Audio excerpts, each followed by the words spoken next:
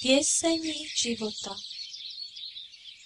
Ježišu, priateľ všetkých, za tebou vždy tichý a radostný, života cestou chcem ísť.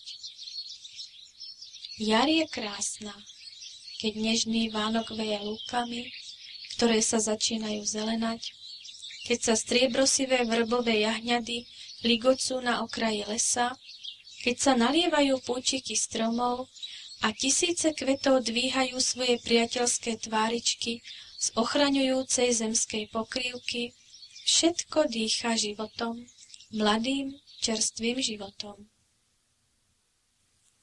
Ale pekná je aj jeseň. Na lúkach sa to ešte leskne sitou zeleňou.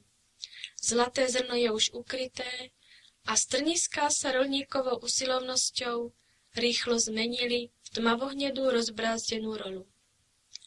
Sladké zrelé plody sú pozbierané a nad krajinou sa rozlieva tichý, príjemný pokoj.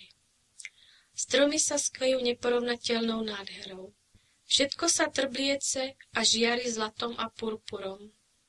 A hoci je to len umieranie, keď sa pole a les skvejú takými nádhernými farbami, predsa to zjavuje pôsobenie života a zároveň istotu novej jary. Maj života ospievali mnohí básnici nadšenými slovami. A právom, pretože Boh utvoril človeka k radosti a on, dobrotivý pôvodca všetkého života a všetkej lásky, so záľubou prijíma jasavú vďaku svojich ľudských detí. Ale jeseň života má tiež svoje piesne.